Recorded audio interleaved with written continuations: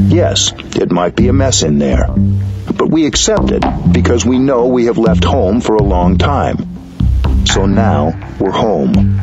With our in-breath and our out-breath, our mindful breathing, we begin to tidy up our homes. Communicating with the breath. The path home begins with your breath. If you know how to breathe, you can learn how to walk, how to sit, how to eat your meal, and how to work in mindfulness so that you can begin to know yourself. When you breathe in, you come back to yourself.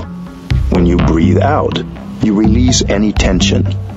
Once you can communicate with yourself, you'll be able to communicate outwardly with more clarity. The way in is the way out.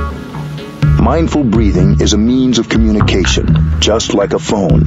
It promotes communication between the mind and the body. It helps us know what we're feeling.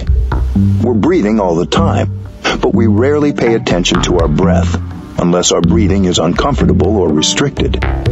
With mindful breathing, when we breathe in, we know we're breathing in. When we breathe out, we know we're breathing out.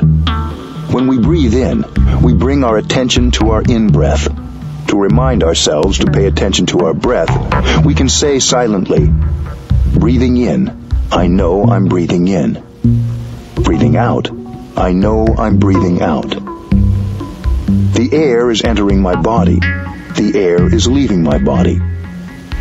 Follow your in-breath and out-breath all the way through. Suppose your in-breath lasts four seconds.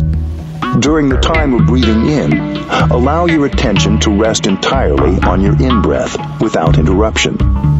During the time of breathing out, focus entirely on your out-breath. You are with your in-breath and your out-breath. You are not with anything else.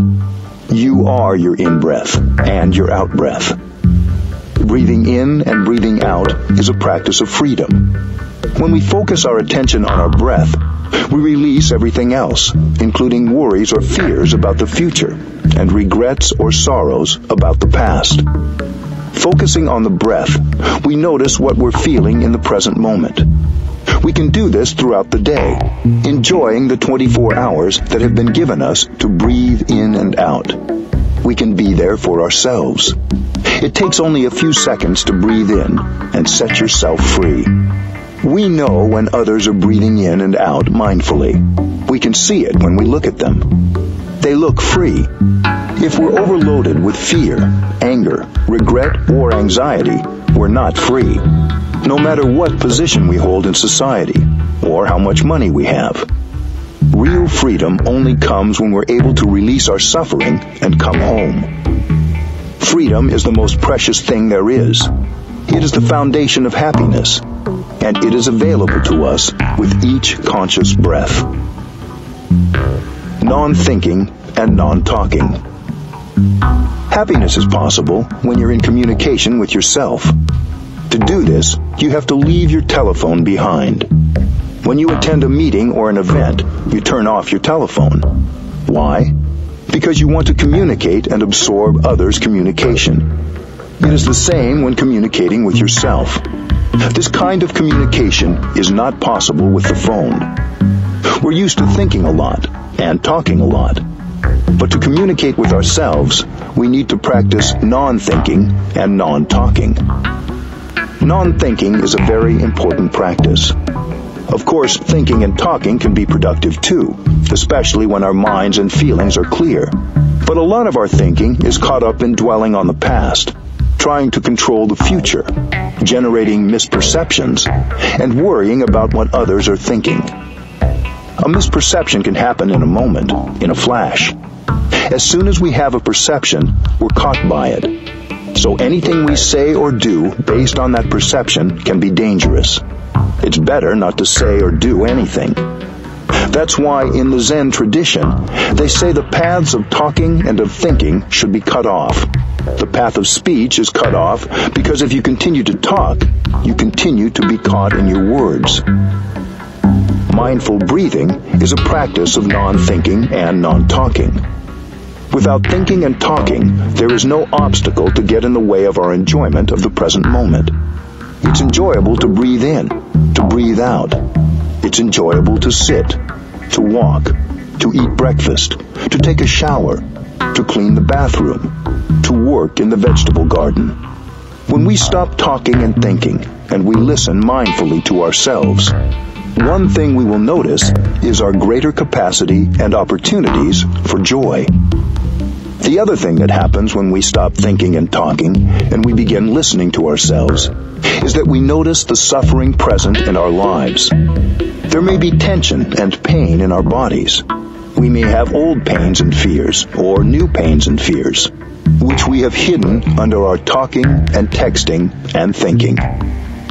Mindfulness lets us listen to the pain, the sorrow, and the fear inside. When we see that some suffering or some pain is coming up, we don't try to run away from it. In fact, we have to go back and take care of it. We're not afraid of being overwhelmed because we know how to breathe and how to walk so as to generate enough energy of mindfulness to recognize and take care of the suffering. If you have enough mindfulness generated by the practice of mindful breathing and walking, you're no longer afraid to be with yourself. If I am free of needing a mobile phone, it's because I carry mindfulness with me, like a guardian angel on my shoulder. The angel is always with me when I practice. It helps me be unafraid of whatever suffering or pain arises. It's much more important to keep your mindfulness with you than to keep your mobile phone. You think that you're safe when carrying your phone. But the truth is that mindfulness will do much more than a phone to protect you to help you suffer less and to improve your communication. Come back. The quiet of non-thinking and non-talking gives us the space to truly listen to ourselves. We don't have to try to get away from our suffering. We don't have to cover up what is unpleasant in us. In fact, we try to be there for ourselves, to understand, so that we can transform please do come back home and listen. If you don't communicate well with yourself, you cannot communicate well with another person. Come back again and again and communicate lovingly with yourself. That is the practice.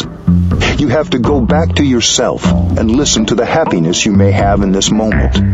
Listen to the suffering in your body and in your mind and learn how to embrace it and bring relief